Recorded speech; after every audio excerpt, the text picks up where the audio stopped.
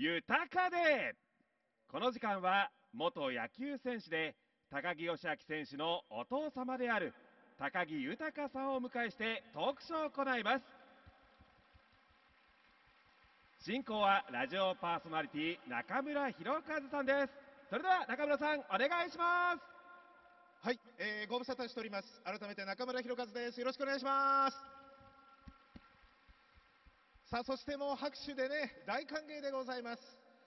プロ野球で14年間太陽、そして日ハムで活躍されて、もちろん新潟のね、高木義明選手のお父様、高木豊さんにもう一度大きな拍手をよろしくお願いします。こんにちは。よろしくお願いします。もう登場した瞬間からこの拍手ですよ、豊さん、どうですか、やっぱ仕込みが OK ですね。仕込み OK ですか？OK です。誰が仕込んだ感じでございましょうか。そうですね。ねえ、はい。あちょっとおかけいただいて、はい。はい。先ほどちょっとあのお話しさせていただいたら、ビッグスワンにね、吉明選手応援しに来るのは初めてということでしたけども、まあ今年、はい、まあ仕事、まあこれ仕事で来ましたけども、はい、あの仕事抜きでまた来ようと思ってまあもうそれだけ新潟をこの短時間で、す。いや、これはね、もう J1 に向けて、はい。もう応援するしかないですし、もうあのートップのサポーターになろうと思ってますか？ら、新潟の。あらまあ皆さんいかがですか？はい。ぜひ次回は何かオレンジのものをつけていただいて、いや、絶対そうですよね。ねえ。なんでこれ着てきたんだろうって思ってるぐらいですよ。いやいや、ビシッとダンディーな感じで。なかなかこうオレンジの召し物ってないんで、あまあなかなかそういうねチームカラー好きだったりファンサポーターじゃないとね、はい。少ないかもしれませんけども。ね。ねはい、でもどうですか？あの今シーズン吉明選手の活躍10得点11アシスト新潟の一番の原動力です。ここまでのパパとしてはどういうふうに見てますいかやうまくいってますよね。うまくいってますか？まんまと。まんまと？まんまとうまくいってるような感じはしますけども、はい、まあ吉明が2020うん、アシスト20、はい。ゴールが20そしたら J1 いけるかなって、はまあ、そのぐらいこう気合を入れさせないといけないかなって思ってますよね。あじゃあまだまだ彼の能力的にはできるぞってことですね。まだやってもらえないと、はい。これだけ新潟のファンの方に愛されてて、えやっぱどうやって恩返しをするんだって言ったら結果しかないじゃないえですか。そうですね。だから本当にあのやってもらわないと。いやあのインスタだとか、はい。SNS で吉明へのコメントって、はい。すごくあったかくうて、ん。すごく親とするとね嬉しいんですよ、はい。ただそれに恩返しをするにはやっぱりそあの結果として残さないとこれはえー絶対男としてダメだなというふうには感じてますけどね。絶対 J1 昇格ともいう。絶対です。もう、ええこれはもう今年人生のはい。一番の分岐点に来てるかなと思ってるんですじゃあ彼サッカープレーヤーとしてもそこの分岐点だってことなわけですね。もちろんですよ、ええで新潟にとってもそうじゃないかなと思ってるんで。そうですね、はい。悔しい思いしてますしね。そうですね。で監督もいいですしね。はい。はチームの空気もいいですし、い、はい、ちなみに吉明選手は子供の頃、はい。今度はもうアスリート関係なく、はい。高木パパとして、はい。息子吉明はどんな子供だったんですか？吉明はね本当に一つのことを丁寧にやる子で、はい。あの1学年上のお学年に入れられたんですよね、はい。飛び級で。えで、まあ、できないじゃないですか、最初って、小さい頃って。はいでも、ゆっくりでもいいから、正確に一つのことをコツコツやる子だったですね。えはあ。はそれがじゃあ今積み重なって、ああいう素晴らしいプレーヤーになってるってことですか？い、まあ、いや、そこう、はい、そうですとは言えないですよね、なかなか親としたら。でもあの皆さん、高木さんの YouTube 見てる人拍手お願いします。ほら結構いますよ。ありがとうございます。今日も YouTube を撮影、実はしておりまして、はい。もうアピールしておりますけども、はい。そこでよく厳しく育てたよと、あの吉明選手と対談した時も、はい。俺は結構厳しかった、いや、本人も厳しかったって言ってましたけど、高木家のその家訓とか、高木パパのその一番子育てで大事にしたところってどんなところなんですか、もう自分で決めろということです自分で決定しろと、まあ、例えば、まあ、進学だとか、はい。そういうことでも、まあ、サッカーやる、やめる、ええ。そういうことでも、全部自分で責任を持って決定していけっていう、その決定権は子供にあ預けてたんで、はい。まあ、こあの吉明でも、まあ、サッカーやりたいと、ええ。ーここの高校に行きたいと、うん。プロに行きたいと、えはい。全部決めてきてるんで、まあ、男としてやっぱり決定権を与えないと、その決定したことに対して責任が持てないということで、はい。それはもう全部3人の子供にあの預けてきました。それはでも小学生とか中学生だと難しいところもあるじゃないですか。まあ、アドバイスはしますよ、はいはいはい。まあ、いいところとリスクのところと、えええだからそういうふうなことは教えながら自分で決定しろと、ええじゃあやっぱりおいお前野球やれよ。俺野球選手だったからみたいなことは一切なかったわけですね。一切なかったですね。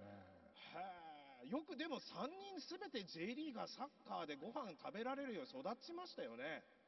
まあ、それはうん。彼らの努力ですね、はあ。親の努力でも何でもないです、うん。彼らが決めて進んだ道だから、はい。その道をわ僕は応援するだけだったんで、はい。でもその応援してる気持ちに応えてくれましたよね。じゃあ厳しく育つ中でもやっぱり答えを出して、はい。あとやっぱり素直に育てよっていう話をねあ。聞いたことあるんですけど。素直じゃないと人間って成長が止まるんですよね。はあ。だから聞く耳、はい。ね。あのーそういうものはしっかり持たなければいけない、はい。まあ、偉くなっちゃいけない、えね、うまいと思っちゃいけない、えはい。まあ、そういうことは言ってましたよ。それはやっぱご自身がそのプレー経験の中太陽ホエールズ日ハムではい。盗塁王とベストナイン取って輝かしい経歴があるわけじゃないですか、はい。3割も9回打って、はい。まあ、そこでは大切にしてたことなんですか？いや、親父がこう天狗とか、はい。こう調子に乗っちゃったんで、いや、だから子供にはそういうふうにならないように、え調子乗ったことあるんですか？いやまあ、太陽時代男ですから、はい。調子に乗らなきゃいけない時もありますよね。あまあまあそこが自信となってねね。プレーにやっぱ出る、ね出ますから、うん。はい。だけど子供の頃から天狗になっちゃいけないし、成長を止めちゃいけないし、はい。だからそういうふうな素直になれっていうことはよく言ってましたよ。じゃあこれサッカーと野球とスポーツのジャンルは違いどなんかこう精神的なもの根底的なものははい結構通じるものがあるってことですか？だから、あのー途中からサッカーの指導な、まあ、親だから言いたくなるじゃないですか、はいはいはい。でもそれは一切やめました。ええ。でやっぱりあのプロになりたいってはいいうふうに吉明はもうもう子供の頃から言ってましたんで、えだからプロありきで育てたことはあるんですよ。はあ。だから精神プロの精神ってこうだよああだよっていうことは言ってましたよね、はいじゃあそれが今吉明選手の中にやっぱり培われてるんでしょうね。まあそれは多少あると思いますけど。でもあのやっぱりこうプロのスポーツ選手でいるとシーズン長いといろんなことあるじゃないですか、はい。でやっぱり今新潟ってこう中断明けでなかなか勝てないと、はい。でも J1 に手で手が届きそうだと。はい。結果を出したいんだけどなかなか出せないもどかしさってみんなあると思うんですよ。ありますねそこでこうプロスポーツ選手だったこう高木パパからはい。何かアドバイスするとしたら今何が一番大事だと思いますか、まあ欲を捨てろということですよね。欲を捨てる。はい。もっと具体的に。僕もずーっと毎試合見てるんですよ。はいはい。あのアルビの試合を。はい。はい。でやっぱり欲がありますよね。J1 という欲が。はい。そうじゃなくてそこには勝ったらいけるんですけど、はいはい最初のその開幕戦だとか、ええ。北九州戦ね。んですよね、はいそうですねはい。あそこでうまくいったじゃないですか、はいはい。で調子に乗ったじゃないですか。まあねぐーんといきましたね。そして、はい。ちょっと足踏みしたのが今日戦うはい。相模原そうですねアウェー戦でね。ね。はい。そこは例えば相手を勝ちたいだとか、はい。やっぱね欲があるとねやっぱその欲が邪魔するんですよね。じゃあもう目標は先にあるけどそれはそれで一戦一戦大事に積み重ねていこうと。もちろんそうですね。欲が邪魔しますから、はあ持ってていいんだけどもそこをあまり持ちすぎないようにうん。今日の目の前の試合そうですね。戦っていくとですね。まあ、何でもそうですけど川残用するでしょ、はいはい計算しますね。そうでしょ、ええ。だからそのか計算が入ってくると勝負っておかしくなるんですよやっぱ純粋に戦ってほしいです。じゃあ今日も純粋に本当にあのファンサポーターを喜ばせるような試合をねやってほしいですね。これだけのサポーターがついてて、え新潟特に多いじゃないですか、ねね、その期待に応えるっていうのはあの大変なことかも分かりませんけども、やっぱりこうそれはもうしてほしいなと思いますね。いやもうちょっとあっという間に時間になってきましたけどすごいこの高木さんが登場しての盛り上がりなんでぜひサポーターの皆さんに一言ちょっとコメントをメッセージをいただけますか？いやいや、もうあのここまで来たら、はい。まあ、サポーターの皆さんは、もう欲を出してください。ああもうどんどん鼓舞してもうもう絶対 J1 に上がるという、はい。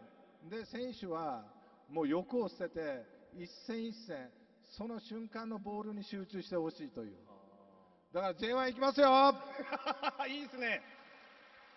あと高木さい、ん今コロナで声出せないんで、はい。最後ちょっと高木さんに勝ち時を上げてほしいんですけどあの愛してる新潟今日勝つぞってちょっと締めてもらいたいんですけど。も、はい、愛してる新潟、今日勝つぞ